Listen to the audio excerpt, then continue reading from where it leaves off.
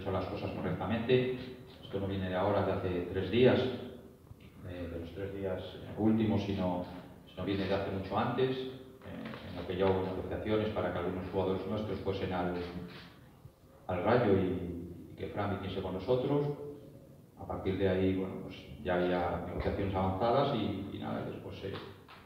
en el último tiempo, pues, pues nada, solo había una forma en que, en que Fran viniese para aquí, que era pagando la cláusula y eso lo que hicimos y, y les avisamos